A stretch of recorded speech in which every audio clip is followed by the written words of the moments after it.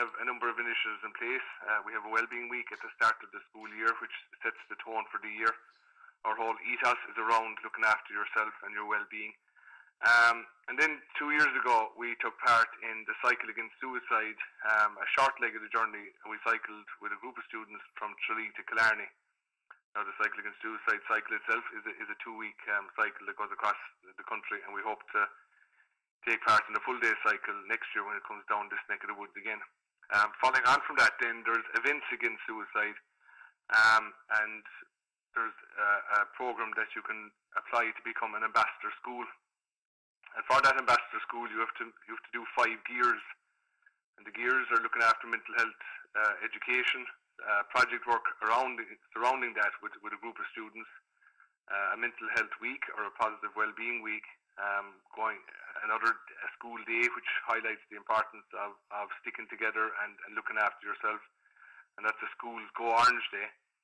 And then the fifth gear and the final gear is a whole school get active uh, event. And what we did, what we do every year is we get the whole school, staff, students, ancillary staff, anybody that has anything got to do with us, we head off to all the four corners of Kerry, the Wild Atlantic Way, the hills, the seas, the rivers, and we all get active. And whether it's uh, a 15 kilometre hike along the Kerry Way, or whether it's going off out to Castlegregory to the water sports or down to Kenmare, uh, we all put in a, a good long day. Um, it's great for team building. It's great for to, to highlight physical and, and the mental positive um, positive lifestyle. And that for us, it helps, it helps set, like I said, it helps set the tone for the year as well.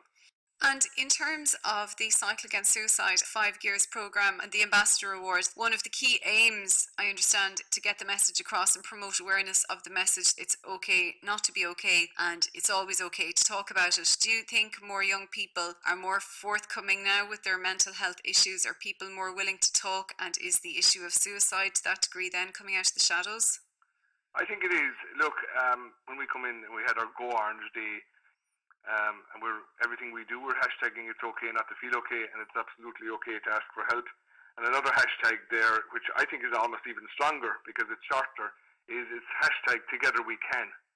And together we can take on the world. Together we can solve a problem. Together we can do anything.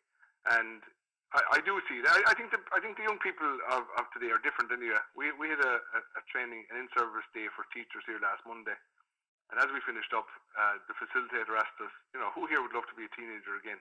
And nobody in the room w- would like to be because what, what I went through as a teenager 30 years ago and what teenagers are going through today is totally different. And the teenagers today have it a lot tougher because there's a lot more social pressures on them. But I suppose they have it easier as well because it's easier for them to speak out. And we do, we find here in school, um, and I suppose um, girls were generally they generally did speak out before. The biggest um, change that I've seen is that the boys, the cool boys, the new age boys, actually will come along and they'll actually uh, express their feelings as well. And I think that's very, very important. And something that might be bothering them today might be something small, but if they speak out and they, they speak, they talk about it and they have a chat, uh, and sometimes we can't solve it at all, but it's the actual fact of verbalizing it. And that small little problem won't manifest itself into a larger problem and hopefully won't won't uh, end up in tragedy down the line.